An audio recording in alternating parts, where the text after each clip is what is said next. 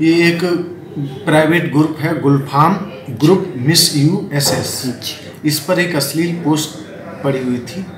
उस पर माननीय विधायिका जी, उनके हाथ जोड़ के फ़ोटो थी। उसी के पास में ये फ़ोटो डाल रखी थी, अश्लील फ़ोटो तो इस संबंध में पुलिस द्वारा संज्ञान लिया गया है। इन्होंने माननीय विधायिका महोदय ने विरोध प्रकट किया था कि हमारे साथ में इस तरह की अश्लील फ़ोटो कैसे आ जाएगी? इस पर पुलिस ने संज्ञान लेते हुए अपनी तरफ़ से मुकदमा पंजीकृत किया है। ये तीन लोग इसमें जो ग्रुप एडमिन थे, फैजान, इरशाद, सुहेल। सुहेल इसमें ग्रुप एडमिन था। ये लोग पुलिस ने अरेस्ट किए हैं। इन्होंने वीडियो वायरल की थी। मुकदमा पंजीकृत कर लिया गया है।